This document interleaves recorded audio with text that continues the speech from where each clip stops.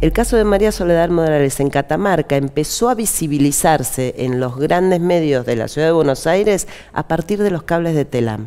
A partir de que ahí hubo un corresponsal de Telam que cumpliendo su rol de periodista entendió que ese hecho policial tenía unas aristas que iban más allá del hecho policial concreto. Y esos primeros cables fueron los que hicieron que después el caso María Soledad Morales tomara la envergadura que tomó.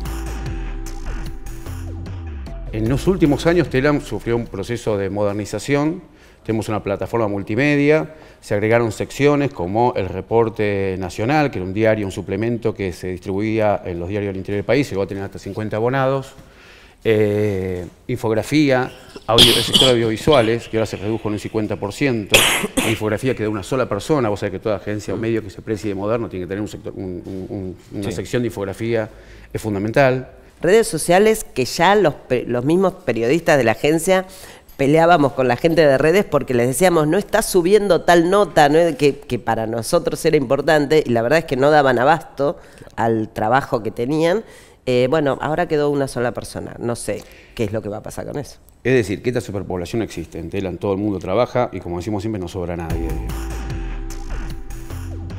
La verdad es que mismo en la Comisión de Diputados, cuando plantean la mala profesionalidad de los despedidos, eh, ¿por qué entonces eh, no nos advirtieron? Porque te hubieran sancionado, te hubieran este, hecho un apercibimiento, te hubieran y, o de última, échame con causa. Y además, si ellos dicen que tenemos un 30% de ausentismo, que los corresponsales no responden los llamados, que digo, si hay tantas causas, ¿por qué los despedís sin causa?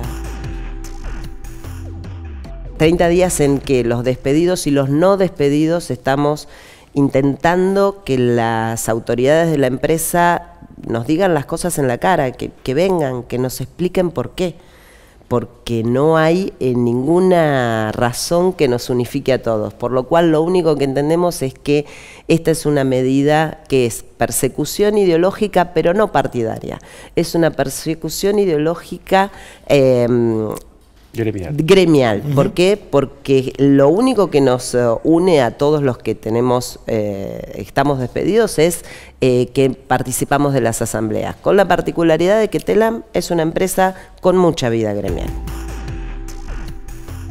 El otro tema que, pues, del que se habla muy poco, una de las funciones que TELAM tenía y que la gestión de Cambiemos cambió, cambió, la sacó, se la sacó de Telam y la puso en la jefatura de gabinete, es el control de la pauta publicitaria de la Administración Nacional que no es definir ni qué medio recibe eh, la pauta ni cuánto recibe, sino asegurarse que el medio en sí existe y que realmente concreta la difusión de ponerle una campaña de vacunación o algo por el estilo.